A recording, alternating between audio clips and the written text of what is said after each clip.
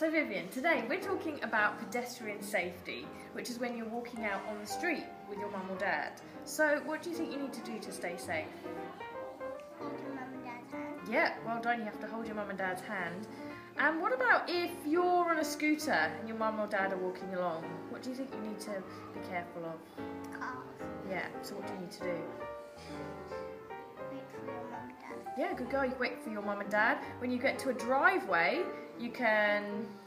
What can you do when you get to a driveway? Do you just keep going? What do you do? Stop. Stop, good girl, to watch the cars. And what about if you're playing with a ball and your ball goes in the middle of the road? What would you do? Ask a grown up. Yeah. Good girl. Would you ever run out there?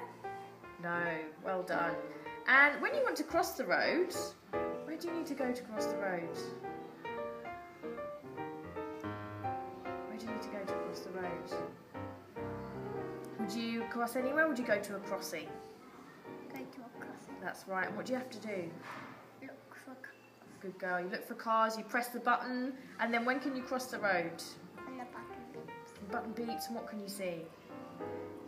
No cars. No cars. Well done. And there's a man. Is it a red man or the green man when we cross? Well done. Good girl, Vivienne. Thanks for talking to me today, Vivienne.